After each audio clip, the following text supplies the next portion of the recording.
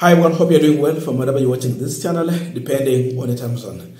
Now, the protest is still going on in this country simply because majority of Kenyans are not happy the manner in which members of parliament are moving the bill 2024 on, on, on the finance. Actually, uh, majority wanted this bill to be rejected in completely, then start afresh. But that did not happen. We know the items they dropped on the way, but the areas where we believe some hidden items have been left because this regime is focused on uh, really, really collecting more money. About 200 billion dropped, but still the bill is well and live in the parliament. It is waiting for the second reading. So the people of Nyeri were protesting and uh, they decided to go to the office of their governor, Mutahi Kahiga. When they reached there, they demanded for one thing the governor to declare his interest on the finance bill and reject it in totality. That is what they were looking for uh, with Governor Mutahi Kahiga. So the governor got out of his office and he addressed the protesters. And this was the situation in Nyeri at governor's office.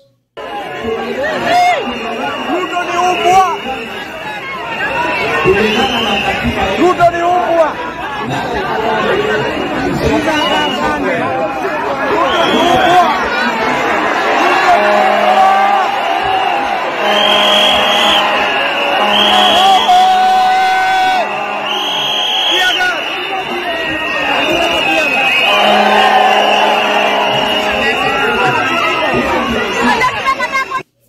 Now, Nyeri is home county to William Ruto's deputy, Rigathi Gachagua.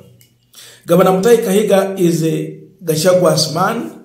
There are issues Gachagua would want to speak about, but because of his position, he cannot speak. So the person who normally relay the message to the public from Gachagua is a Nyeri governor. So when he speak, just know that Gachagua is speaking.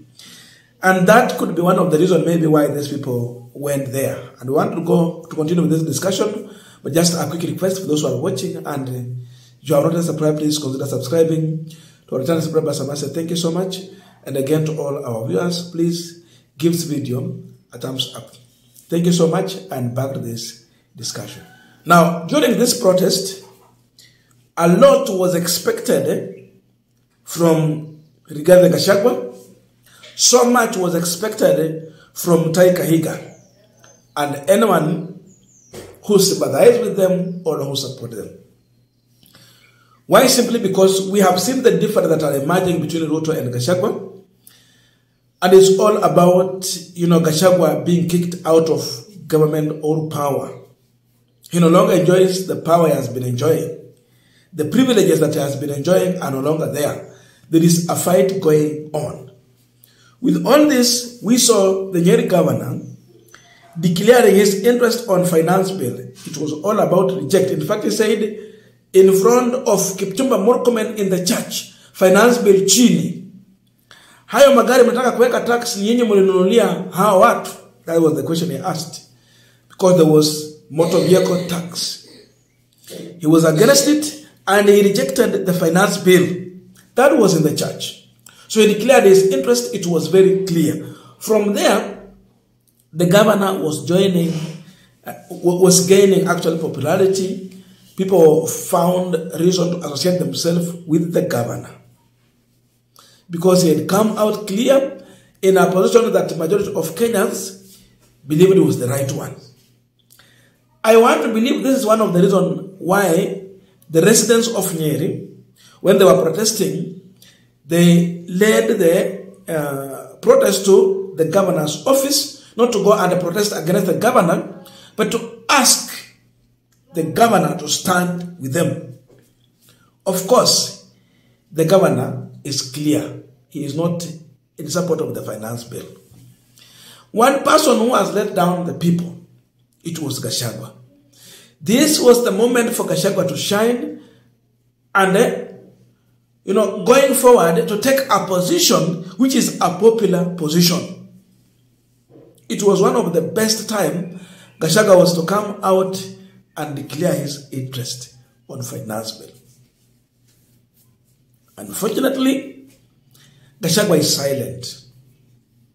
He has not declared his interest. We know he is, he is not supporting the finance bill, but he's not declaring it. He is silent about that. And this is one of the reasons I want to believe it took this youth to the governor's office. Ongea kwa hii mambo. Sema Gachagua's position ni gani? How I wish Gachagua would have declared his interest and go against the wish of State House.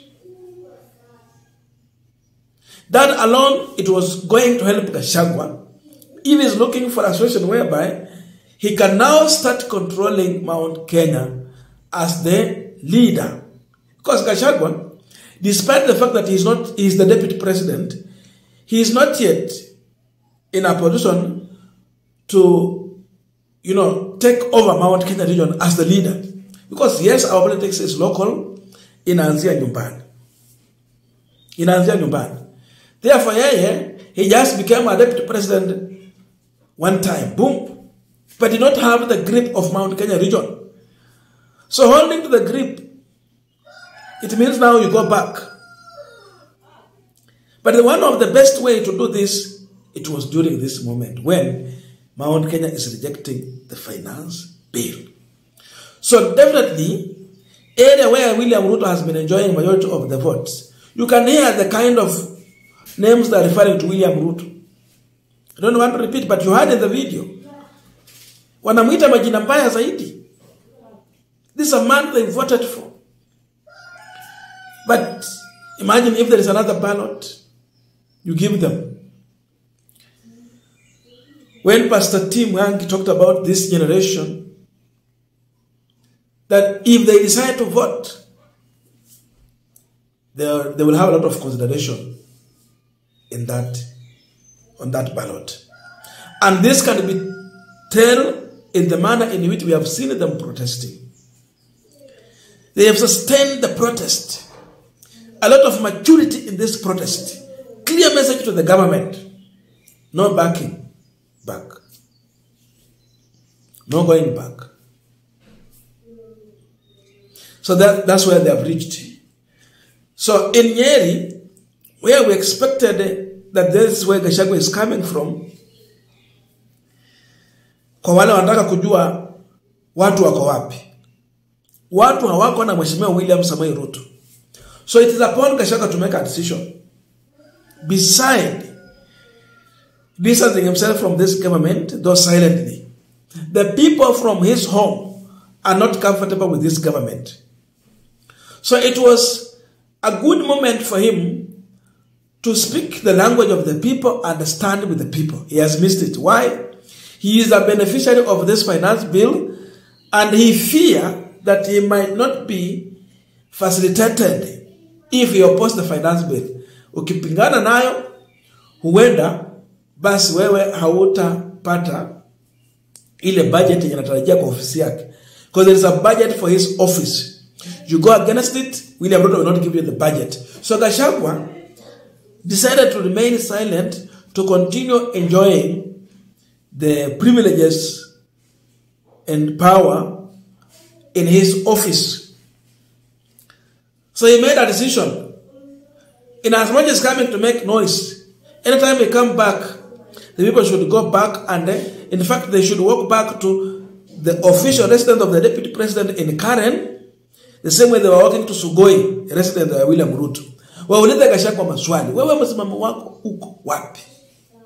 Kama watapigwa tear gas wafukuzwe, wajue Gachagua si mmoja wao, therefore they should not put any hope in someone like Rigathi Gachagua. Kama atawakaribisha basi aseme msimamo wangu ni huu, tujue anasimama na William Ruto the oppressor ama anasimama na wananchi the oppressed. We'll have to make a decision. Definitely i know he's back in this country and uh, the protest is still on. He has to come out and declare his interest. So that was the situation in Nyeri. I know there was much protest in uh, all those counties. Ukienda Kirinyaga kule kwa Anne Waiguru, Kiambu hapa, it, was all over. And this is a government they voted for. Look at what happened in Eldoret, what was happening in all those counties in Rift Valley. It is all about rejection. So watu walisema ya kwamba wale ambao wataondoa Mheshimiwa Ruto na Gachagua kwa uongozi watakuwa wale ambao waliweka. Indeed, it is coming clear. This time round, revolution is being led by youth.